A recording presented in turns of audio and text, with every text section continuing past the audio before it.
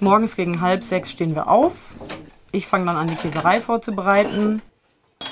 Das heißt, ich drehe den Käse, ich wasche noch ein paar Sachen ab. Der Max, mein Mitelbler, macht in der Zwischenzeit schon mal Feuer fürs heiße Wasser. Und äh, ich mache dann Kaffee, welchen wir dann gemeinsam auf der Laube trinken beim Sonnenaufgang. Danach gehen wir dann gemeinsam die Kühe holen und gegen halb sieben, sieben fangen wir dann ungefähr an mit dem Melken. Ich bin Antonia Bosse, bin 29 Jahre alt ähm, und bewirtschafte diese Käsealb gemeinsam mit dem Max. Wir kommen aus Deutschland und haben beide ein landwirtschaftliches Studium abgeschlossen.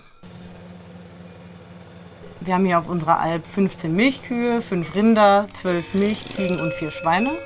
Äh, der Max und ich teilen uns die Arbeit eigentlich auf. Das heißt, ich bin verantwortlich für die Produktion des Berner Oberländer Alpkäses aus der Kuhmilch.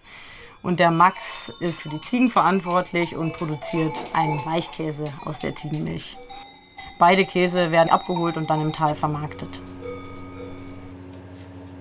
Bisher habe ich in der staatlichen Entwicklungszusammenarbeit in Bonn gearbeitet und war dort eigentlich überwiegend beratend tätig in Sachen nachhaltiger Landwirtschaft. Nach dem Sommer werde ich dann einen neuen Job anfangen und zwar werde ich in Stuttgart für das Land Baden-Württemberg ein Projekt zur Förderung des ökologischen Landbaus koordinieren. Die Arbeit auf der Alp ist für mich einfach ein Ausgleich zu meiner eigentlichen Arbeit in Deutschland, wo ich doch meistens vom Computer oder im Büro sitze.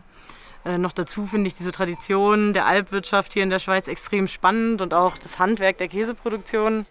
Vor zwei Jahren habe ich schon mal eine Alp ähm, bewirtschaftet in der Schweiz, aber damals als Zusendin und als Hirtin.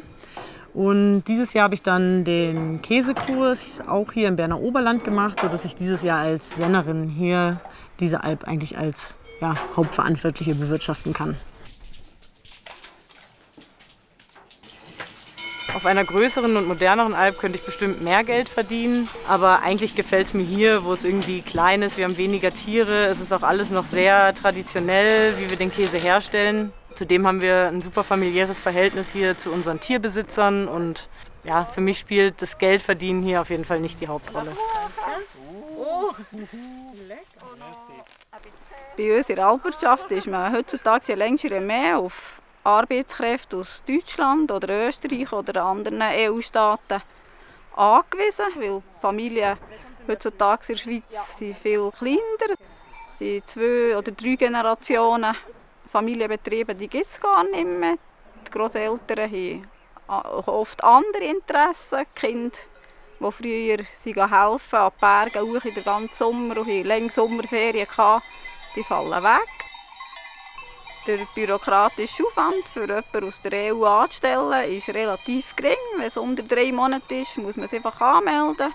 Das kann man im Internet machen. Mit ein paar Klicks ist das erledigt und gut. Das Befriedigende hier an dieser Arbeit finde ich einfach wirklich, dass man am Ende vom Tag hat man was produziert, das kann ich in den Händen halten.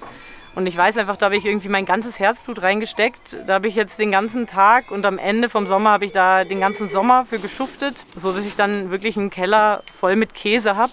Und den essen die Leute, die freuen sich darüber. Und gleichzeitig merkt man auch einfach körperlich abends, was man getan hat. Ja, man ist müde und man geht eigentlich zufrieden ins Bett, auch wenn man dann nur noch in einen komatösen Tiefschlaf fallen kann.